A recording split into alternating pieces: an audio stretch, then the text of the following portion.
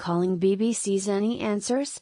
From Northern Ireland, Brexiteer Henry Gordon said that the possibility of a hard border between Northern Ireland and the Republic of Ireland would be a very small price to pay for Brexit.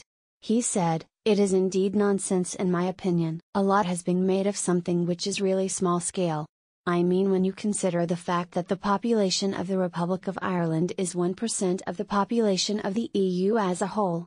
1%, that's a tiny, tiny number, and, of course, they're using, the Republic of Ireland naturally is using it as is the rest of the EU, as a negotiating ploy. BBC Euronews Brexit News BBC Radio Caller claims the EU is using the Irish border issue as a negotiating ploy. If that's the price that I have to pay for Brexit and for the UK as a whole, then it's a very small price to pay Henry Gordon, BBC radio caller these pretended difficulties. Of course, there will be difficulties, and although I am in favor of what they call a hard border or a border of any sort, I know that it will inconvenience me personally as well. But if that's the price that I have to pay for Brexit and for the UK as a whole, then it's a very small price to pay. And, of course, people will say that trade and so on will be sort of made more difficult, but I remind people also that between 1922 and 1973, as far as I know, there was a hard border between the Republic of Ireland and Northern Ireland.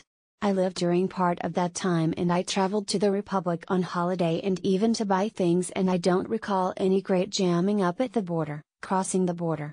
Mr. Gordon's comments come after US author Lionel Shriver tore apart the EU scaremongering tactics in the Brexit negotiations during a BBC Any Questions? debate.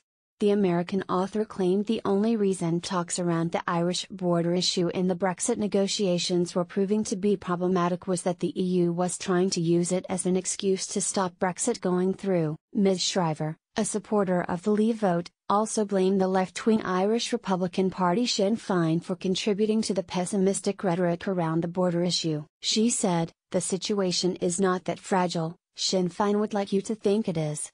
Behind this terror about the Good Friday Agreement is the usual threat of violence, so I don't respond to it. I find the whole Irish border thing is trumped up if Americans can say that anymore.